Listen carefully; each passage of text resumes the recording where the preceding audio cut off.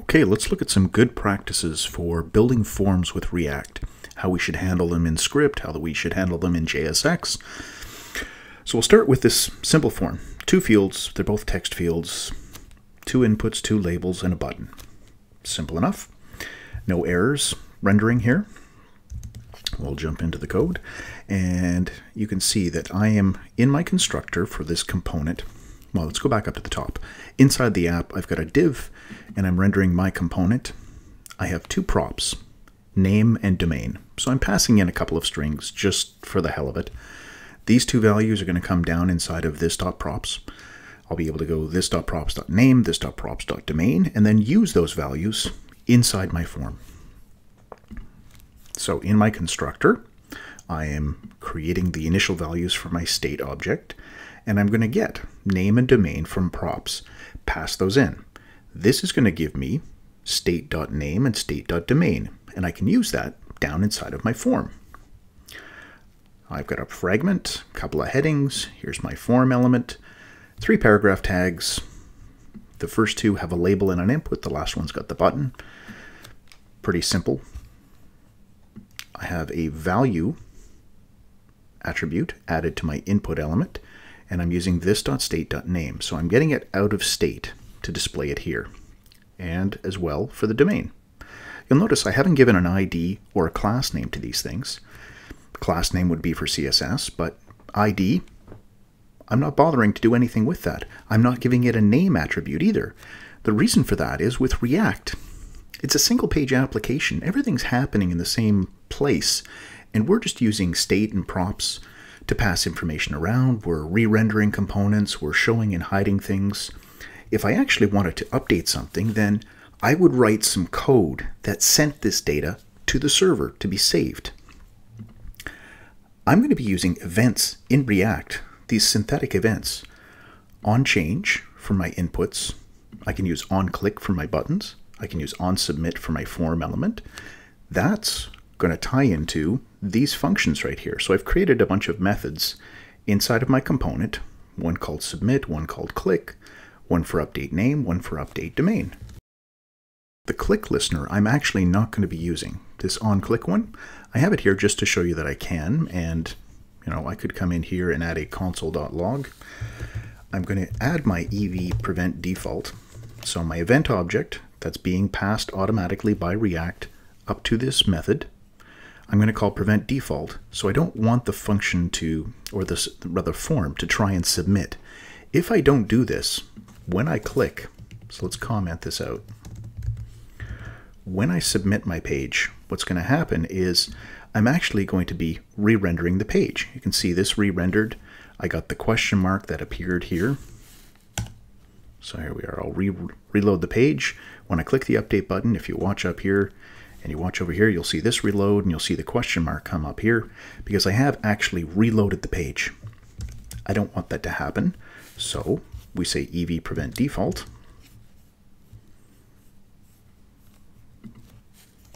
I'll reload it without the question mark, without the query string, click the update, nothing happens. So if you did have a listener on your button and you wanted to do something, make sure that you're doing EV prevent default. Now, same thing in the submit. If I put it inside the on submit, right here, I'm calling the submit method from the form. This will do the same thing. It'll prevent it. And this is really where we're going to put our code. So this code runs for the form on submit event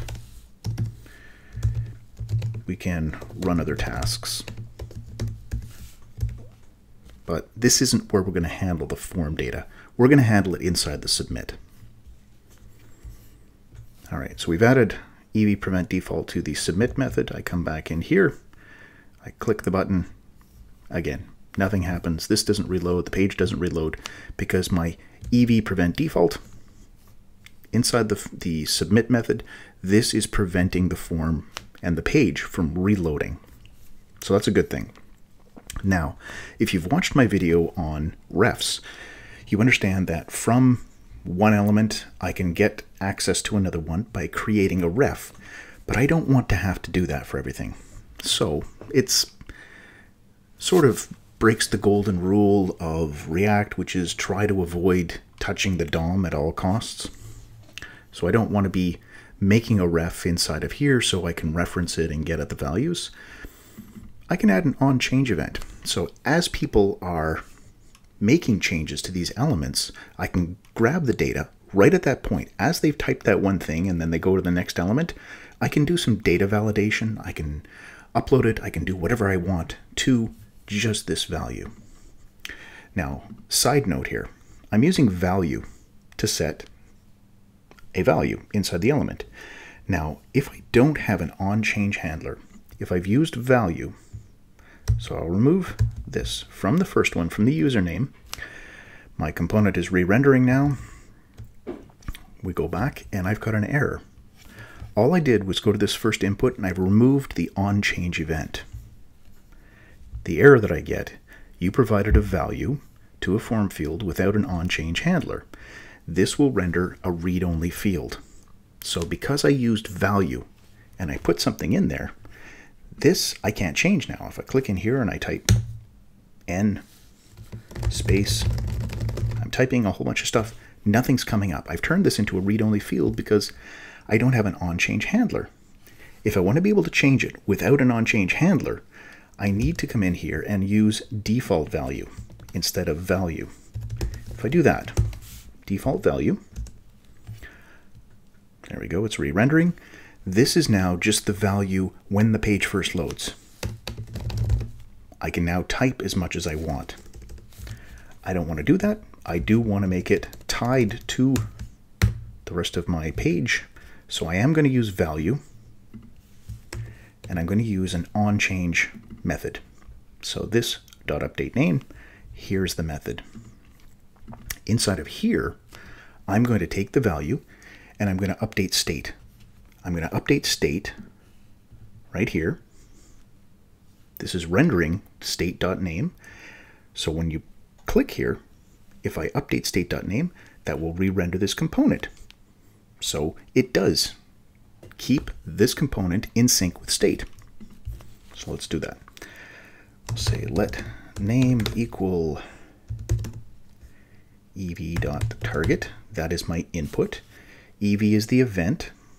ev.target is this input down here. And I want to get its value. So whatever is currently typed inside there, that's the name. And I'm going to update state. The thing inside of state that I'm updating is called name as well. So we can just say this dot set state name. That's going to be the same as doing this name colon name. So let's drill down here and highlight our input element. There we go. Value is Steve. Inside of component in state, name is Steve. Let's make it Steven. There we go. I updated Steven, and the value inside the input changed to Steven. Perfect. That's what we want to do.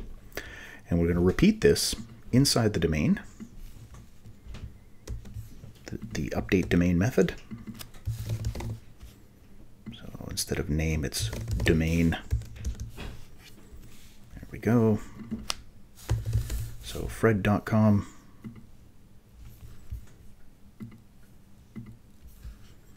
And there is fred.com has been updated inside of state. Perfect. Now, when the person calls submit, when they click the button, that's going to trigger the onSubmit method, or rather the onSubmit synthetic event, which will trigger our submit method up here. And this would be send the data to the server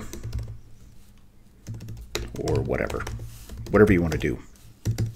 The data is up to date inside of this dot state. That's all of our data. We have changed this. We saw that inside the React Dev Tools. This is where I've got the most current state. I don't have to go back to these elements. I don't have to go into here and get the value of this, then into here, get the value of this. I don't have to create refs so that I can get to those values. I've saved the updated information in state, which is local to my component. So inside of here, do data validation. This is where I would check. Inside of here, I would do data validation. And since it's only on one field, I'm only doing it on this one or this one because they're unique methods. I can, from here, do validation that is unique to the domain or unique to the name. And there we have it. That's how forms work in React. I type a bunch of stuff, type a bunch of things. When I click update, that's when the submit method runs, and that's when I can take that data and send it somewhere or save it someplace, whether it's in local storage or through Ajax, anything I want. I will be doing other videos on local storage and on Ajax calls from React, but for now, if you understand what we're doing here with these event listeners, you're right on. Okay, so if you have any questions, feel free to leave those in the comments. Uh, if you found this useful, please share it. And as always, thanks for watching.